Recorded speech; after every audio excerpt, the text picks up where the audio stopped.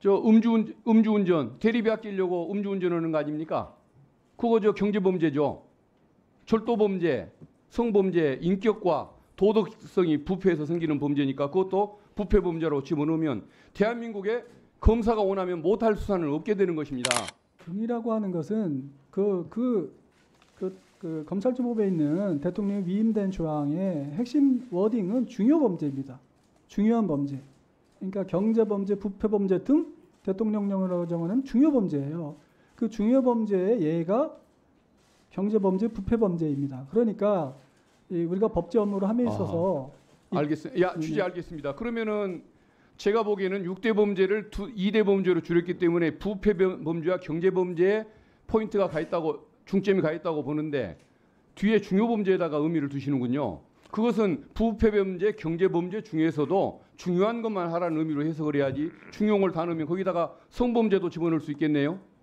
강도 범죄, 살인 범죄는 왜 안 넣습니까? 중요 범죄인데. 지금 앞에 정해져 있는 경제 범죄나 그 부패 범죄에 준하는 정도의 중요성. 그러니까 속성이 말하는 같이 하는 거. 아니겠습니까? 네, 그런데 지금 근데 그 사법질서 죄 사범을 어떻게 거기에 그 추가를 할 수가 있습니까? 충분히 그런 정도의 중요성이 있다고 저는 생각했습니다. 아니 중요성이 문제가 아니고 부패와 경제에 초점을 둬야 하는 거 아니겠습니까? 부패나 경제는 예시죠. 예시요. 네. 열거가 아니고 예시로 보시는 겁니까? 그- 자 그- 그러면은 거기에 성범죄, 살인범죄는 왜 안 넣습니까? 더 중요한 범죄 아닙니까?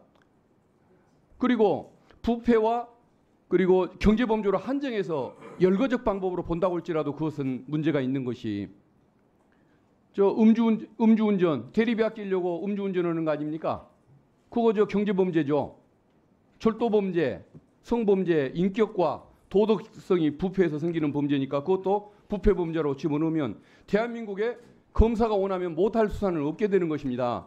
근데 어떻게 그것을 열거적으로 두 개로 제한했는데 그걸 예시라고 설명을 하시고 방점을 중, 중요 범죄다 집어넣으시고 그와 또 그 설명과도 그 모순되는 것이 그러려면은 살인 범죄, 강도 범죄, 성범죄는 왜 안 넣습니까? 그것은 검사들이 폼이 안 나는 범죄이기 때문에 안 넣어버린 거 아니겠습니까? 이런 식으로 검찰이 자의적으로 검찰과 법무부를 위해서 또 대통령의 그 어떤 희망사항을 반영해서 만- 만든 내용이 있을 때는 법제처에서 이것을 막아줬어야 할 것 같은데 오히려 이렇게 옹호까지 하시는 것은 이해를 못하겠습니다.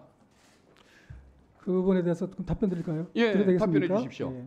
그 부분에 대해서 저는 이런 말씀 좀 드리고 싶어요. 지금 의원님께서 그런 것들이 굉장히 부당하다고 생각하시죠? 예, 부당하죠. 의원님께서 그렇게 부당이 생각하는- 아니라 저는 불법하다고 생각하는 겁니다. 의원님께서 그렇게 말씀하시는 것도 저는 충분히 그렇게 생각하실 만한 이유가 있다고 봐요. 그런데 그 문제가 어디서 나왔냐면은 이 위임 규정의 문제가 있는 거예요.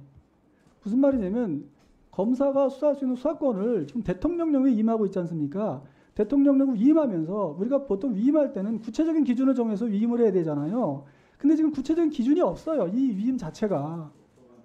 그러니까 경제범죄가 뭐냐에 대해서는 대통령이 알아서 정하면 되는 거예요. 알겠습니다. 그러니까- 그래서 저도 그 말씀대로 이 법을 만들 때 더 구체적으로 넣었어야 하고 등자를 빼야 하고 이걸 열거적 사유인 것을 분명히 더했으면 좋겠다는 생각은 들지만 그래도 상식을 가진 사람이 이, 이 입법의 취지와 과정을 안다고 한다면 이것을 함부로 부패 경제, 부패 범죄, 경제 범죄에 함부로 확대하는 것은 위법하다는 걸 인식을 하고 있을 거라고 생각을 하고 있거든요. 근데 등짝 하나가 들어갔다는 이유로 해가지고 마음껏 확장을 하고 검사가 원하면 다 할 수 있는 이런 법으로 해석을 한다고 한다면 저는 평소에 우리 법제처장님이 취해오던 그런 논리 객관성과는 조금 거리가 멀다고 생각을 합니다.